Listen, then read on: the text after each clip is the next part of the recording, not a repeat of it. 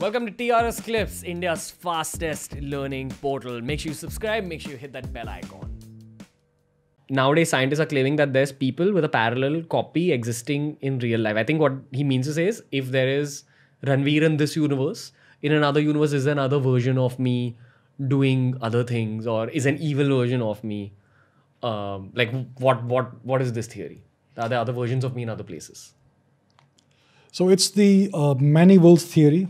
Uh, every action that you take, it's a choice. So maybe there are multiple choices that you had and you, and you picked one. So when you do that, the world branches off into two different forks. In one fork, you are here, you have to- taken one, one choice. In the other one, you have taken some other choice.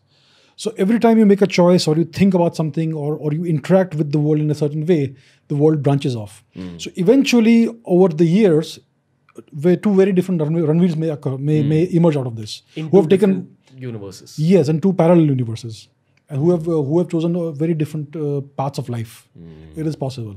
So according to this theory, if this theory is correct, then it is going to be that way that you may have a multitude of versions of yourself, and you are living all the possible choices and outcomes that you may ever be able to take in your life. Another beautiful mind bending hypothesis with respect to what you just said is you know, sometimes what is your intuition? Your gut feeling is a voice inside you saying, yo, do this, be with this person, don't be with this person, don't take up this business deal, stay away from this person. There's a voice inside you.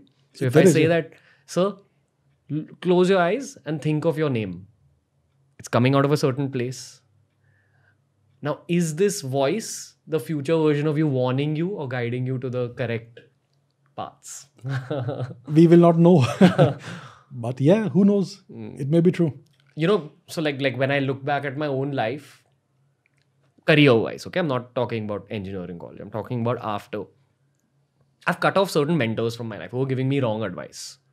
But I realized that only after a certain point. They also gave me some right advice, which is why they stayed mentors for a bit. Now, after point, I realized, no, no, I think I've outgrown this person's wisdom pool.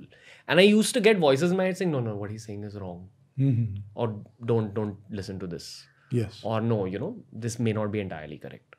Now, when I'm thinking about my life right now and I'm going back to those conversations in my own mind, I think, thank God I didn't listen to that guy at that point because that was wrong advice. Thank God I did what my gut was saying. Could it be that this version of me thinking back and looking back is actually communicating somewhere with that version of me, which heard a voice saying, hey man, don't listen to this guy or get out of this room? So, if there is some possibility of communication at some level with a parallel uni- universe and a parallel version of yourself, then maybe that's the that's the voice. But if there are an infinite number of versions of you, then you may have an infinite number of voices in your head. So that also not that also doesn't make sense. Right.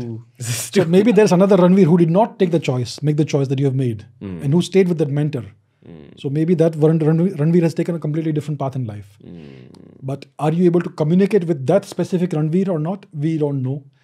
I think the voice in our head is our own intuition. It's it's it's within our own consciousness in this this universe hmm. itself.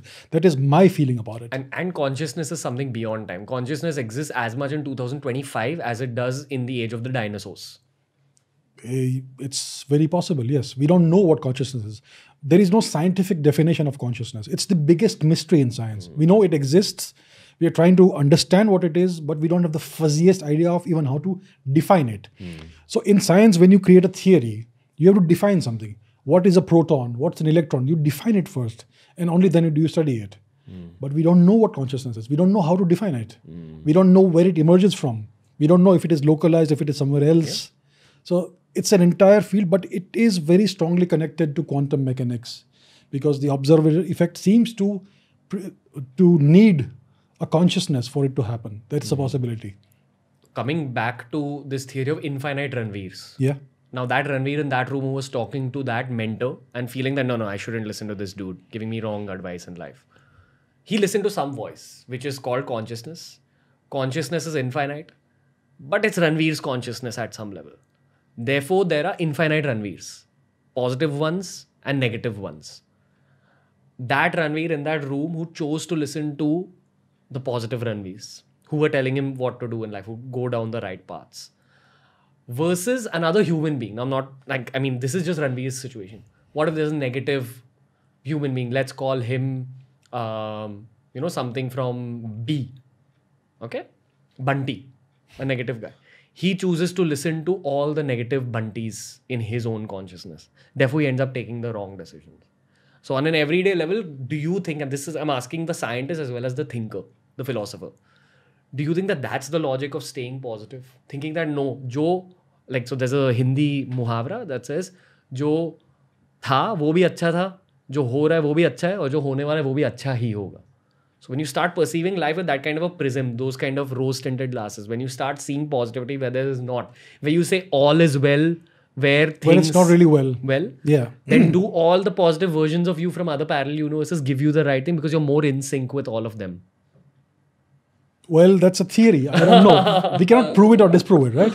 But it is possible, yes. Okay. But do you think of scenarios like this for yourself?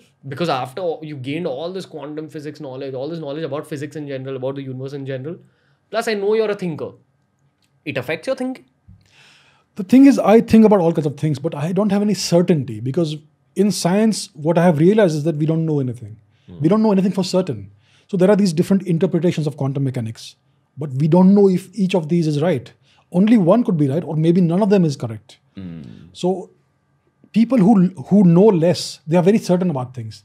People who uh, know beyond a certain level, they are very uncertain about things because we know that there is so much that is not known to us. Yeah. So it is difficult for you to make a value judgment and say that yeah, this is the right thing.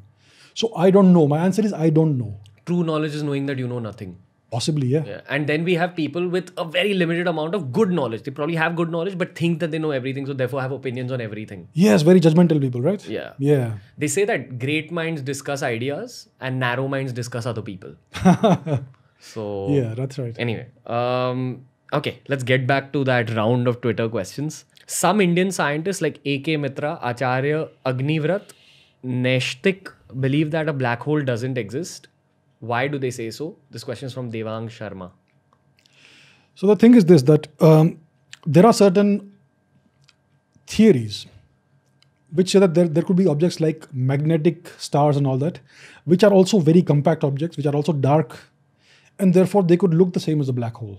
So if you have an object like a magnetic com- compact object and a black hole sitting side by side, you will not be able to tell which is which because they have very similar properties. Now, general relativity tells us that black holes do exist, they should exist. But there are other theories which say that other kinds of objects could also exist. So these are valid scientific theories. These are not these are not nonsense. But I would my belief and my certainty is that black holes do exist and the world is riddled with them. Because we have seen signs of black holes. We know that there is a big black hole at the center of our galaxy. We have recently taken a snapshot of a different black hole in, an, in another galaxy. It was the Event Horizon Telescope. So there is a significant amount of incontrovertible proof that black holes do exist, that they are out there. But other kinds of objects, more exotic objects, could also exist. So I am open to that.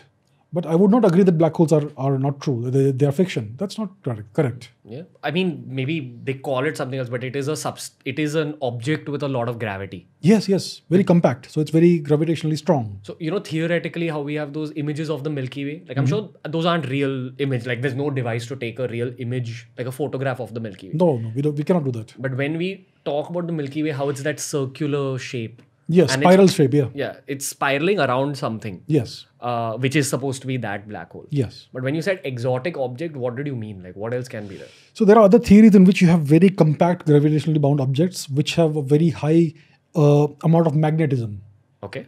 because they have a lot of charge in there. But they are they, they, their radius is greater than what would be the event horizon of that that object. Therefore, they are not technically black holes, but they are very similar, very similar to black holes, and they are very dark. So there are many such theories out there. You can construct a theory basically using this, uh, the laws of physics, which comes up with all kinds of different uh, phenomena, and these could exist somewhere or the other. For example, in the theory theory of electromagnetism, there is something called a magnetic monopole. So Maxwell's equations do tell us that magnetic monopoles should exist.